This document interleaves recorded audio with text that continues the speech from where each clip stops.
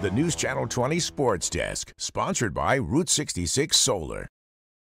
We are here at Memorial Stadium following the Illinois spring game. I'm Sammy St. Jean, joined alongside Dante Furco. And after a season where the Illini came one win short of a postseason appearance, it was Illinois fans' first chance to see this new and improved Illinois roster. The Illini first team offense driving downfield early in this one, a Josh McCray touchdown to begin this game. Donovan Leary led offense, struggling early in this one, but he would find Rochester product Hank Beatty for the first down. And Luke Altmyer connecting with his young wide receiver Malik Elzy for the long reception. Elzy not getting much playing time in his freshman year, but shining on this play. Altmyer would then connect with his running back Aidan Laughery on the wheel route for the touchdown. And while the team didn't keep scoring this one, they were excited to be back on the field and felt good heading into the summer.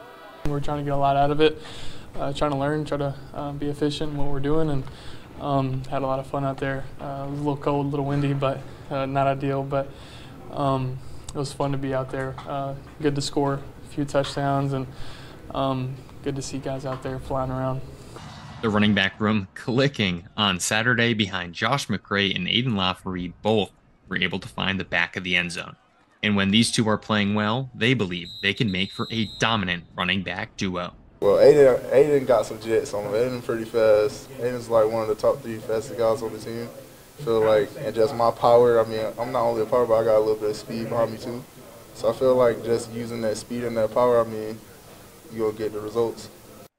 From one offensive position to the other, sophomore wide receiver Malik Elzy shining in the spring game. His quarterback Luke Altmyer had great praise for his young wide receiver. Malik has done uh, so well through these 15 spring practices. His second year um, is really first spring, I think, and uh, you know he's he's showcased his talents every single day. He's gotten better every single day, and he's been a great teammate. And uh, he, I mean, physically, he is he has every single tool that uh, you look for in a receiver. And uh, looking forward, uh, you know, you know he's going to be a big key effort in our offensive efforts this year, and I'm glad he's on our team. Now the Illini, they will return to practice in early August ahead of their first game, the 29th, against Eastern Illinois. And for more from the spring game, make sure to check out our website. But for now, here from Memorial Stadium, I'll do for sports.